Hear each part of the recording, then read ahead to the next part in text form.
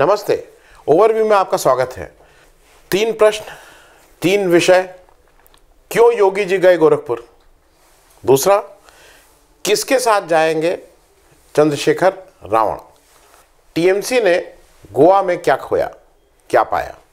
सबसे पहले बात कर लें, योगी जी का गोरखपुर से इलेक्शन लड़ने के, का आज ऐलान हुआ है। लेकिन उसके आगे बढ़ने से पहले हमेशा की तरह आपसे आग्रह कर लूँ कि चैनल को सब्सक्राइब करिए और जो मेंबर्स बनने का ऑप्शन है, उसको भी अगर एक्सरसाइज करेंगे, उसको भी अगर मेंबर बनेंगे तो हमारे लिए अच्छा रहेगा। अगर आप हर महीने अपना एक कमिटमेंट नहीं करना चाहते हैं मेंबर बन के तो एक वन टाइम हमारी फिनेंशियल सपोर्ट करेंगे तो चैनल को चलाने में थोड़ी और आसानी होगी। तो तो वही बात क्यों योगी जी का गोरखपुर? आज बीजेपी ने अपनी पहली लिस्ट जारी की 107 नामों की। वो फ़र्स्ट फ़ेज़ और सेकेंड फ़ेज़ के नाम थे। फ़र्स्ट फ़ेज़ के अट्ठावन में से सत्तावन सीट उन्होंने ऑलरेडी अनाउंस कर दी और सेकेंड फ़ेज़ की सीट अनाउंस की और एक दो सीट उन्होंने जो बाद के फ़ेज़ हैं उनके में और उसमें योगी आदित्यनाथ जी का नाम और उप मुख्यमंत्री केशव प्रसाद मौर्य जी का भी नाम था। थोड़ा ये था कि अगर केशव प्रसाद मौर्य जी को भी कर रहे थे तो डॉक्टर दिनेश शर्मा को भी कर दिए होते, लेकिन अभी असमंजस उनका बना के थोड़े दिन रखा जाएगा। योगी आदित्यनाथ जी को कहा गया है कि वो वापस जाके गोरखपुर के, गोरखपुर सदर सीट जो है, उससे इलेक्शन लड़ेंगे। मैं ये बता दूँ कि आदित्यनाथ जी अभी तक सीधे एमपी बनते हुए आए हैं। आदित्यनाथ जी कभी एमएलए का इलेक्शन नहीं लड़े हैं। जब वो चीफ मिनिस्टर बन गए, तब वो एमएलसी रूट से उन्होंने विधान परिषद में प्रवेश कर लिया था और विधान परिषद सदस्य के रूप में ही काम किया। लेकिन अब वो विधानसभा में आने की बात कर रहे हैं। सबसे पहले तो मैं इसका बहुत स्वागत करता हूँ कि कम से कम जो चीफ मिनिस्टर कैंडिडेट्स हैं, उनको विधानसभा इलेक्शन लड़ना चाहिए। मैं बहुत दिनों से कहता आ रहा हूँ, ये जो बैकडोर एंट्री वाला मामला है, वो गड़बड़ है। तो एक तो ये अच्छी बात है। लेकिन जो गोरखपुर सदर उन्होंने चुना है, इसके पीछे भी थोड़ा देखने वाली बात होगी। कागज़ पे देखा जाए तो लोगों को लगेगा कि भाई, इन्होंने, वहाँ पे राधा मोहन अग्रवाल जी का टिकट काट दिया गया है। राधा मोहन अग्रवाल जी का बैकग्राउंड पहले मैं आपको बता दूँ और फिर आपको आसानी होगी। 2002 में योगी आदित्यनाथ जी ने एक तरह से रिबेल कैंडिडेट खड़ा किया। वहाँ के बीजेपी के अधिकृत उम्मीदवार थे शिव प्रताप शुक्ला जी, जो छात्र यूनियन से आ रहे थे और बाद में अभी हाल के दिनों में उनको सेंट्रल गवर्नमेंट में वित्त मंत्री भी बनाए गए थे पिछले 2014-19 वाली सरकार में, राज्यसभा मेंबर हैं। उनके अगेंस्ट योगी आदित्यनाथ जी ने विश्व हिंदू परिषद के नाम से डॉक्टर राधा मोहन अग्रवाल को खड़ा किया था और उन्होंने शिव प्रताप शुक्ला को इलेक्शन हरा दिया था। उसके बाद डॉक्टर राधा मोहन अग्रवाल बहुत ही आम जन जैसे हैं, बहुत ही ईमानदार, डॉक्टरी का पेशा करते हैं, लोगों के लिए हर जब मौजूद रहते हैं, हर उसके लिए खड़े रहते हैं, कोई जात और इस तरह की राजनीति नहीं करते हैं और उसके बाद उन्होंने अपना एक स्ट्रांग बेस बनाया और वो लगातार चुनाव जीतते आ रहे हैं।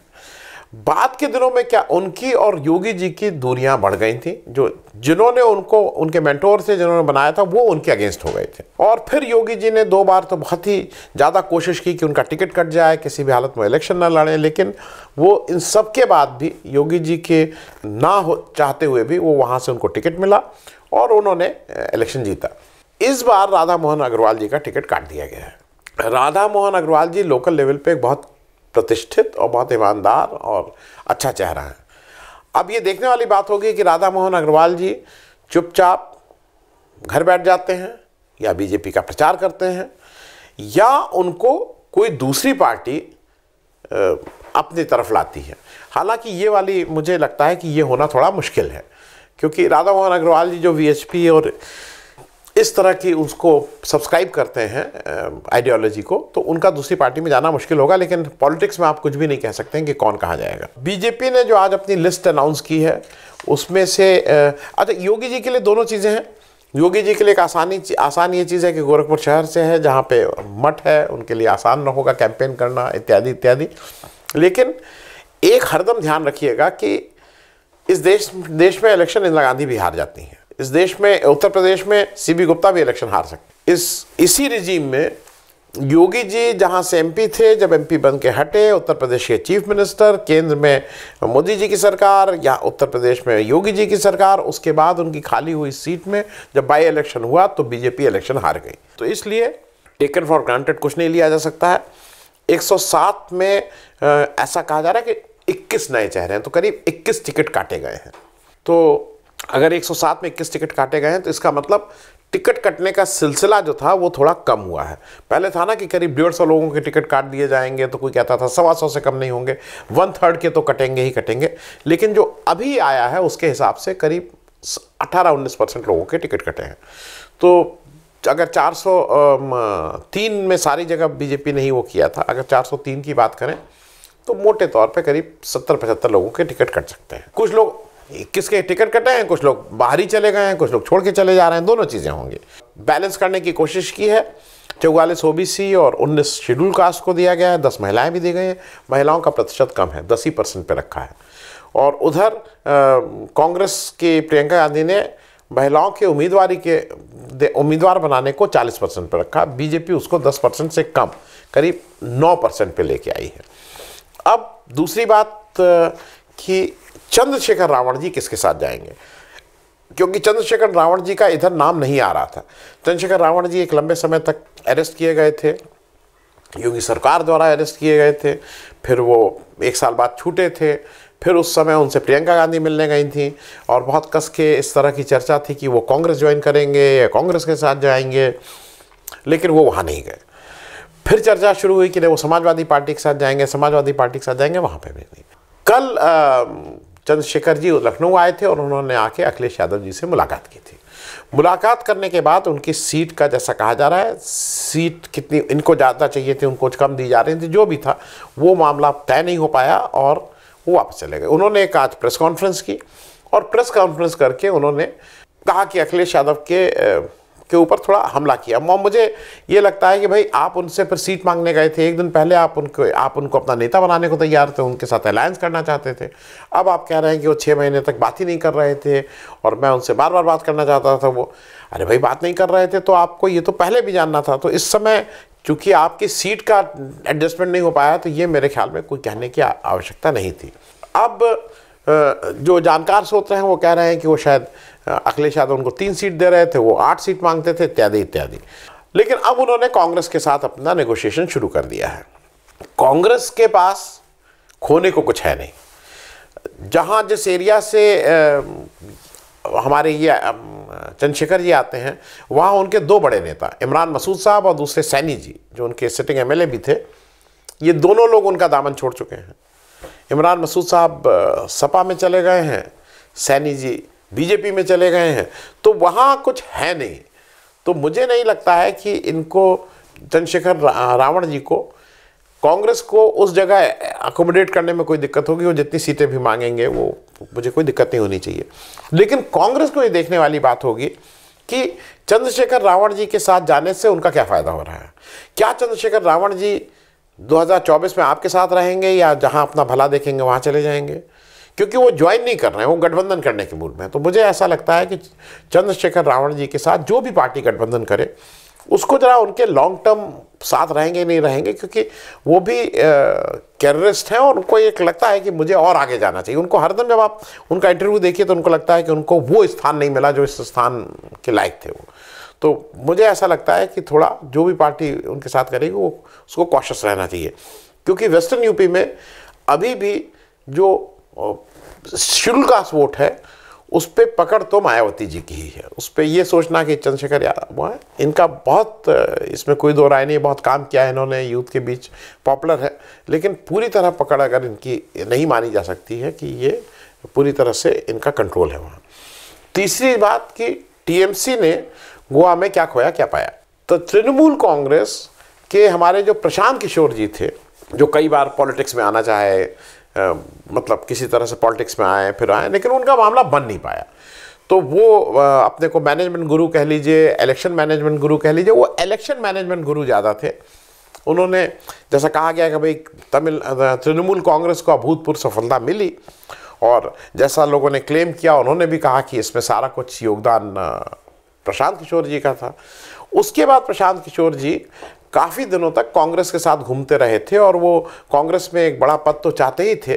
बाकी जो उनकी डिमांड थी, मैं पहले भी अपने शोज़ में कर चुका हूँ, उनकी दो तीन डिमांड ये थी कि सारा कुछ निर्णय लेने की क्षमता उनके पास हो जाए।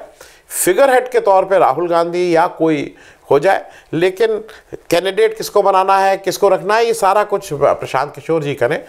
वो बात बनी नहीं तो अब जब वो निकल आए तो वो आप कहते हैं कि मैं कांग्रेस को ख़त्म करना मेरा एक ध्येय है। कांग्रेस को ख़त्म करना किसका और ध्येय है? भाजपा का ध्येय है। तो भाजपा और प्रशांत किशोर जी के ध्येय अब एक हो गए। दे अ कॉमन ऑब्जेक्टिव कि मुझे कांग्रेस को ख़त्म करना है। ठीक है भाई, वो कांग्रेस को ख़त्म करने के चक्कर में लगे उन्होंने ही एक, ये एक ग्रैंड प्लान बनाया कि अब ऑपोजिशन जो है, वो यूपीए नहीं है यूपीए इज़ इरेलीवेंट अब तृणमूल कांग्रेस एक कोई लार्जर ऑपोजिशन बनाएगी और उसी के तहत उन्होंने सबसे पहली कार्रवाई दो जगह की, एक त्रिपुरा में की और एक गोवा में की। त्रिपुरा में वो कांग्रेस की जो महिला कांग्रेस के अध्यक्ष थी, उनको मतलब तोड़ के ले गए अपने यहाँ और उनको एमपी भी बनाया। कांग्रेस से वो गोवा में जो उनके फेलर साहब थे, उनको तोड़ के लाए टीएमसी में। और ये हुआ कि अब टीएमसी जो है वो वो गोवा में जाके बिल्कुल सब कुछ ठीक कर देगी और वो वहाँ सबसे बड़ी पार्टी बन के वही सरकार बनाएगी। ये काफ़ी यहाँ मशक्क़त होती रही और सारे टीएमसी के लोग वहाँ पहुँच गए और इलेक्शन के मोड में आ गए और बीच में ममता बनर्जी भी बॉम्बे तक चली गई और अब ये हुआ कि अब तो मैटर ऑफ़ टाइम है जब टीएमसी को वो प्रशांत किशोर जी गोवा की चीफ मिनिस्ट्री ला के दे देंगे। इस बीच चीज़ें चलने लगी, अपनी गति से चलने लगी। गोवा में कैंपेन शुरू में तेज़ी आ गई। बीजेपी बिना मनोहर पर्रिकर साहब के साथ ये इलेक्शन लड़ रही है। वो अब नहीं है, उनके इतना बड़ा लीडर कोई था नहीं। बीजेपी की अपनी अंदरूनी समस्याएँ हैं, उनके यहाँ से कुछ लोग टूट के कांग्रेस में भी गए हैं। कांग्रेस भी एक तरह से गोवा में, क्योंकि पिछली बार वो जीता हुआ इलेक्शन भी, उनके अपने चुनावी जो मैनेजर या जो उस तरह के जो लोग बनाए गए थे, उन्होंने वहाँ सरकार अपने कारणों से नहीं बनी, नहीं तो वहाँ भी, वहाँ कांग्रेस की सरकार बननी चाहिए तो वहाँ पे कांग्रेस अपने ढंग से इसको जोड़ तोड़ कर रही है।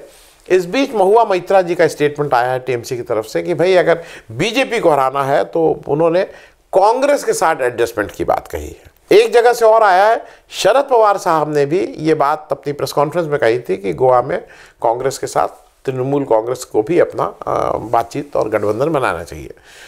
तो मोटे तौर पे बात ये हो रही है कि गोवा में बिना कांग्रेस के आप कोई इस तरह की वाइबल बात नहीं कर सकते हैं। ये बहुत स्पष्ट हो गया है। अब समझ में नहीं आता है कि टीएमसी जो इलेक्शन जीत गई है, उसको यहाँ से अब प्रशांत किशोर जी को टाटा बाई बाई बोलना चाहिए कि अभी भी प्रशांत किशोर जी जिस ढंग से जिनका एजेंडा अब कांग्रेस को ख़त्म करना है, उनके साथ उनको अपना कंसल्टेंट रखना चाहिए। क्योंकि 2024 के इलेक्शन में अब 24 महीने हैं। अगर अगर, मैं फिर से अगर बोल रहा हूँ, अगर तृणमूल कांग्रेस का जैसा कहना है कि मुझे बीजेपी को हराना हम लोगों का मुख्य ध्येय है और उनको नई सत्ता में आने देना है तो फिर ये सब बातें भूल करके एक लार्जर ऑपोजिशन का हिस्सा उनको बनना होगा। और ये भी तय है कि उस लार्जर ऑपोजिशन जब भी बने, उसमें कांग्रेस उसका एक कोई ना कोई पक्ष या कोई ना कोई फैक्शन ज़रूर रहेगा। और वो कोई ऐसा फैक्शन नहीं रहेगा, वो एक तरह से लीडिंग फैक्शन रहेगा। तो आज के लिए बस इतना ही। आपके साथ अगली बार फिर किसी नए विषय को लेके बात करेंगे। लेकिन मैं आज का और बता दूँ, आज से हम लोग एक नया शो शुरू कर रहे हैं। मैं और वो जो एच डब्ल्यू न्यूज़ है, हम लोगों का जॉइंट कोलेब्रेशन है। शो का नाम है नाइन थर्टी नाइट शो साढ़े नौ का नाइट शो साढ़े नौ के नाइट शो में हम लोग जब 10 मार्च तक 10 मार्च को वोटों की गिनती है, तब तक कम से कम एक डेली का एक डिस्कशन रखेंगे रात में साढ़े नौ बजे। चार पाँच लोग मिलके छः लोग, जो भी हो, चर्चा करेंगे कि जो भी उस दिन का विषय होगा। पॉलिटिकल शो है पॉलिटिकल चर्चा ही रहेगी। लेकिन इसमें एक आग्रह ये भी है कि अगर आप लोग इसमें पार्टिसिपेट करना चाहें खुद भी एज अ पार्टिसिपेंट बन के तो वो आप अपनी इच्छा बताएँ भेजें और हम लोग ज़रूर उस पर कुछ ना कुछ आ, करके कोशिश करेंगे कि आपको भी एकोमोडेट करते रहें। Thank you so much